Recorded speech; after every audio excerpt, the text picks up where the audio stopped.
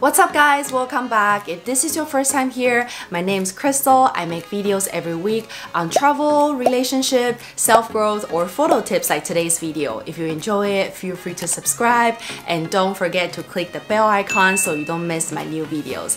And let's get started.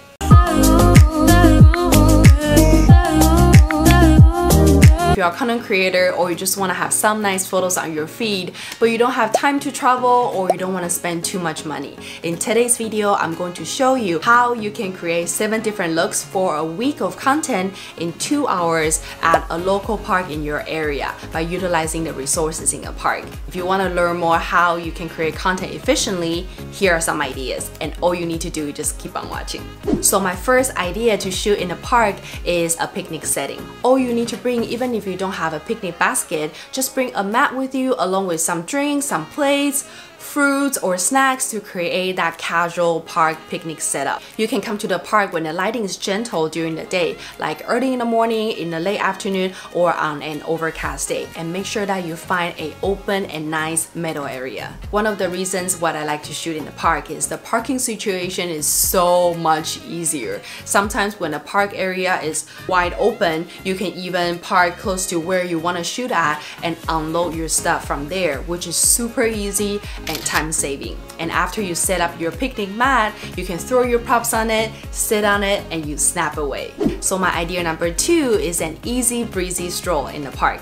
I know in some parks you'll see some nice and clean walking trail, which makes a great spot for walking photos, especially summertime is finally here, so it makes perfect sense for you to take a stroll in your summer dress in a park. And in my previous video, I share how you can pose and look effortless on Instagram. If you want to learn more about posing, feel free to check it out later. So for the strolling photo, all you need to do is just find an angle that you like with some greenery in the background and just keep walking back and forth until you get the shots that you want. After taking your stroll photo, my idea number three is to wear your flowy dress and snap a twirl photo in the park. If you watch my previous video about how to pose, you'll learn that I like to twirl in a lot of my photos. And actually a park is just another perfect setting to take this kind of shot we found a beautiful tree in bloom with some petals on the background which looks so picturesque. So moving on to my next idea, if you can think about what you can do in a park that makes sense, one thing I can think of is to read because it's so quiet and relaxing to read a book or newspaper in a park. So my idea number four is to read a book with glasses on and sitting on a bench. This is actually another easy look to create because all you need to bring is just a book that you like and a pair of glasses. If you don't have glasses, you can borrow it from a friend or just wear sunglasses on your head to change the look.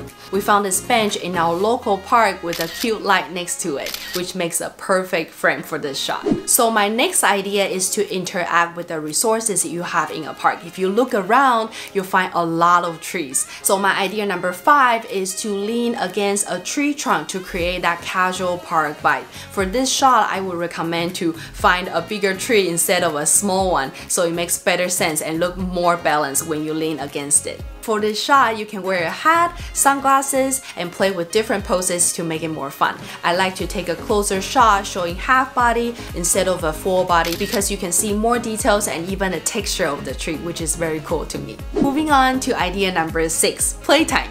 In my park, we have nice playground equipment for kids to play. And my favorite part in a park is always the swing. With the swing, you can definitely showcase some fun movements. In this shot, we were testing different angles and we found it nice to take from a 45 degree angle with some greenery and kids running around in the background. And finally, my tip number seven is to utilize props to elevate your photos, like a hammock, like flower, balloons, or even soap bubbles as you can see in my video to keep your hands occupied and enrich your picture even more.